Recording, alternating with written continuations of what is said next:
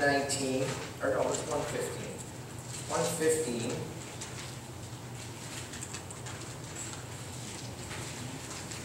And verse 11. Verse 11. Ye that fear the Lord, trust in the Lord. He is their help and their shield. Amen? Amen. Fearing is not a bad thing, is it? If you're fearing the right one. Um, Psalm 119 and verse 165. I, you know, I could go with hundreds of these verses. I only picked a few. Okay? 119, 165. You there? Great peace have they which love thy law, and nothing shall what? Nothing shall offend them. Hmm. It, it, is, is God's law a, list of do's and don'ts to you? Because if they are, you're looking at it completely wrong. Because God's Ten Commandments are, are God's promises to you. That's what they are. They're God's promises. And I want to end with Ecclesiastes. We have this man Solomon that was, the Bible says, the wisest man that walked the earth, right? He wrote a couple books in here, didn't he? He wrote Proverbs, he wrote Ecclesiastes, and he wrote Song of Solomon, or Song of Songs, correct? If we turn to the very last chapter of Ecclesiastes, chapter 12, I'll give you a summary of the book of Ecclesiastes. Solomon says, look, I've done it all.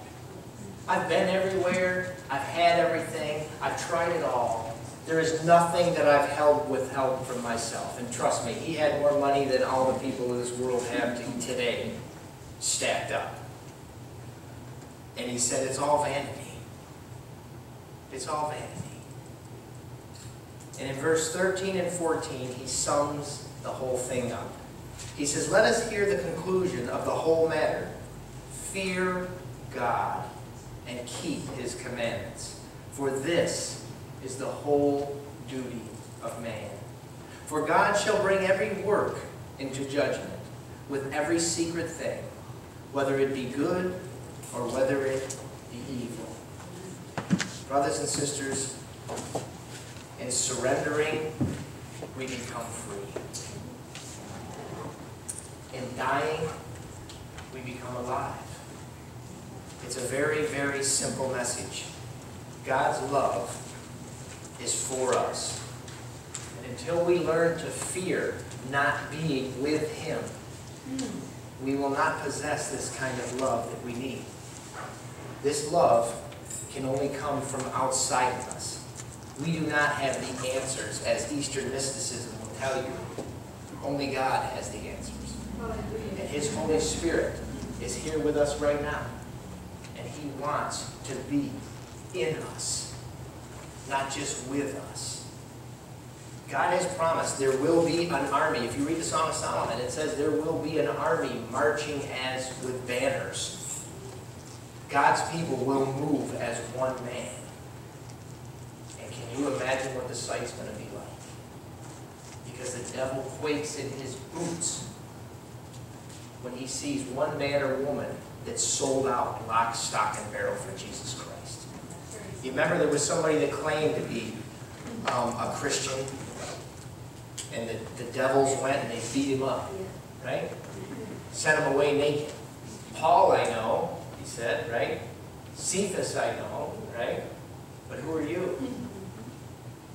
See, nobody can touch you if you are God's, unless God allow it. He is waiting for us to get quiet, to get with Him.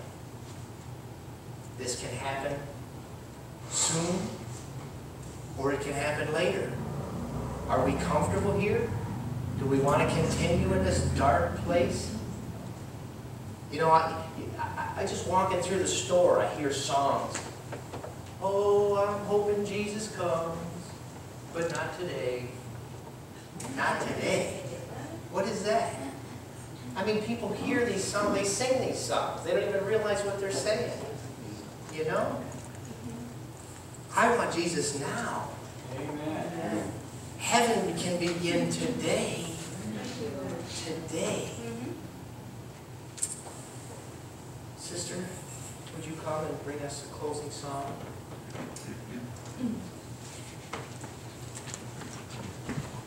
Ready?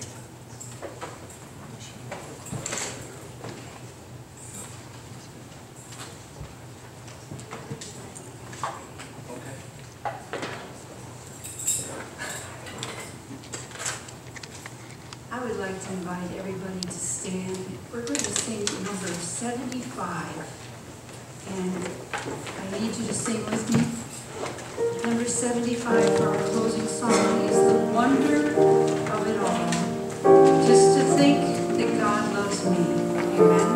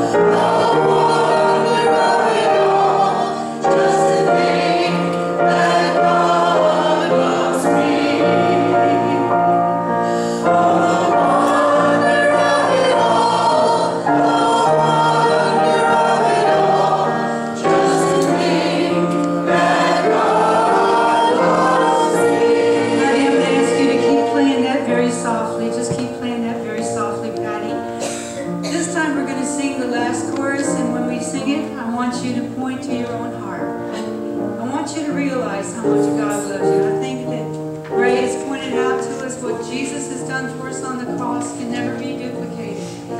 It shows his love to the utmost. Amen?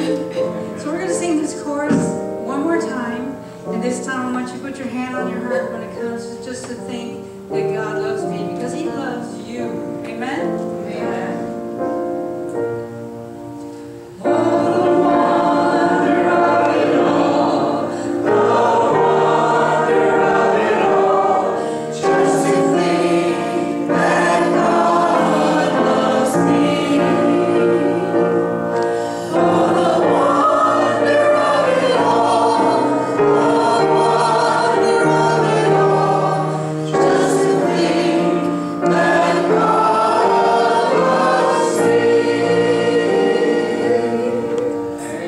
Brothers and sisters, if you don't know Christ as it is your opportunity to know Him right here, right now, today, I pray that you would just ask Him to come into your heart, to change your life, and to move mountains for you, because Jesus Christ is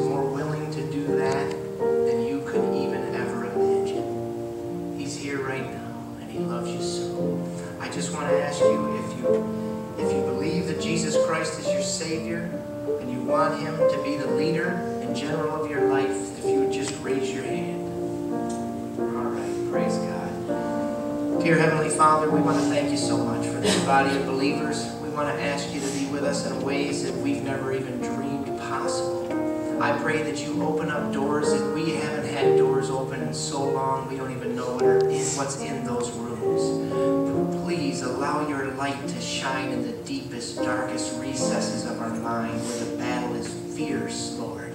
Help us, encourage us, allow your Holy Spirit to win battles for us so that we can stand in awe of our God. Allow us to leave this place today and go and help and encourage Rebecca's family in Jesus' name.